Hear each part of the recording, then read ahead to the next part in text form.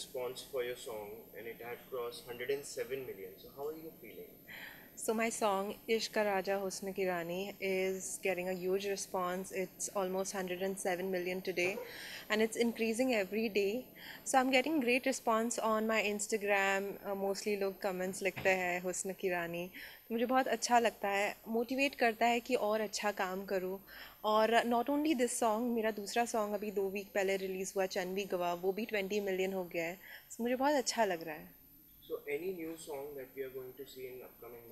So new song would be another song with Meet brothers and Bohemia I am a big fan of Meet brothers चाहे उनकी चिटिया कलाया हो या baby doll हो। मुझे उनके सारे गाने बहुत अच्छे लगते हैं।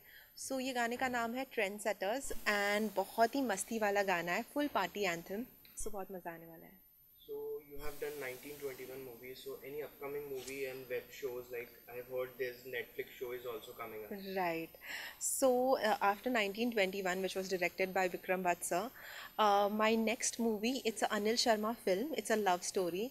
It's with Manjul, the TikTok star. तो उसके लिए मैं काफ़ी एक्साइटेड हूँ उसकी शूट दिल्ली और देहरादून में अभी कुछ दिनों के बाद एक मंथ का स्केड्यूल है तो वो उसके लिए मैं एक्साइटेड हूँ और एक और है वेब सीरीज़ जो जून से ऑन फ्लोर जा रही है और उसके अंदर मैं बहुत ही प्राइमरी कैरेक्टर प्ले कर रही हूँ। It's directed by Shaad Ali who is directed Bunty and Babli okay Jaanu, बहुत सारी बेस्ट बेस्ट मूवीज़ एंड को directed by Siddharth Malhotra it's called Pawan and Pooja जिसकी स्टारकास्ट भी बहुत अच्छी है, जैसे कि Sharman Joshi Neena Gupta Jackie Shroff Gul Panag and I am playing a primary character so I feel really nice to be part of this Netflix series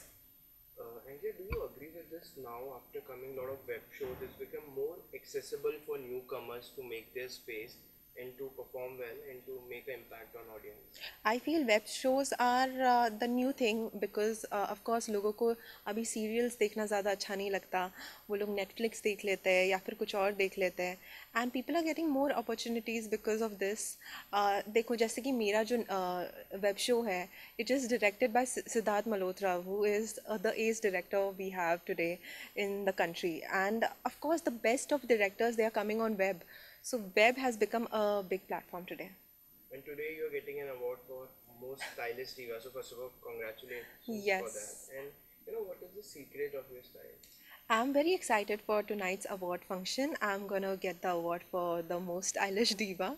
I feel honored totally. And uh, to be stylish, I feel you know comfort is most important. Just be comfortable in your own skin. Uh, whatever is your style statement, just carry it off. Whatever you feel like. And uh, मुझे ऐसे ही लगता है कि that is the true style in which you are comfortable because it just shows अगर आप कुछ भी पहन लो और आप कंफर्टेबल नहीं हो वो दिखने लग जाता है so I just feel comfort style how do you keep yourself motivated because there are days when you feel low there are days when you feel happy so how do you make yourself keep going like each day i have to work yeah so there are a lot of times when i feel really down and i feel okay it's not happening but then i just try and say you know what am i here for like you know एक एक गोल होना चाहिए इंसान में and I don't believe in bigger goals I believe in shorter goals so I set shorter goals and I try to get them so I just feel more encourage because छोटे goals पूरे होते हैं तो और अच्छा लगता है that makes me reach the bigger goal So, so yeah. just you mentioned like short goals. So from starting, you had the vision that you want to make the space in acting. Mm-hmm. You want to come here. Yeah. So uh, from the start, I had shorter goals. So I started off as modeling. I did a lot of TVCs और वहाँ से मुझे मेरे first south film मिली पूरी Jagannath sir के साथ। सो so, मैं बहुत एक्साइटेड थी। फिर उसके बाद तीन साउथ फिल्म्स की। फिर उसके बाद बॉलीवुड में आ गई। सो so, ऐसे ही छोटे छोटे गोल से मुझे लगता है मैं अपने बड़ा गोल बहुत जल्दी पहुँच जाऊँगी। So